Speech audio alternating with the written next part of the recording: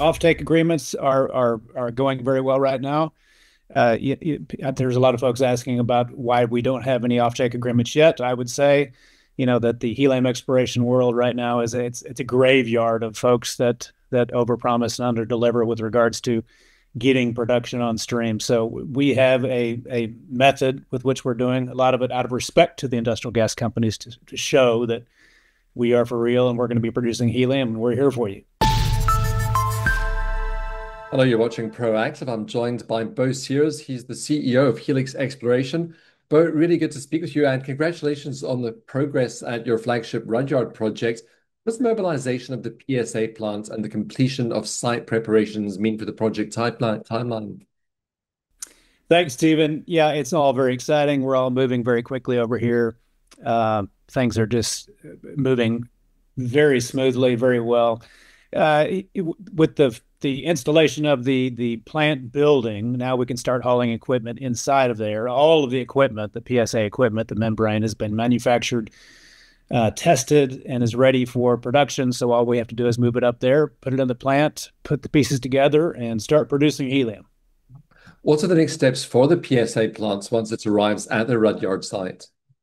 Yeah, so we have a team, well, Wikota and a a group out of Havre, Montana that we're working with called Nu Wave. They're helping us. They're our support group up there. They will manage the the installation, the connections, the plumbing, what have you, to get that plant plant operational.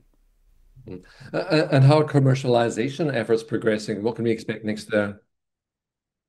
Very well. You know, uh, offtake agreements are, are, are going very well right now.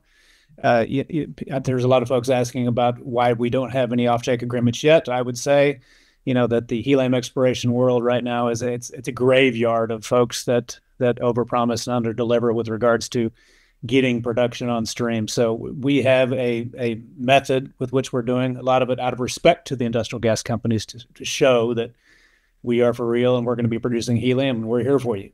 Mm. Bo, what's the significance of Inez-1 and its role in the Rudyard project?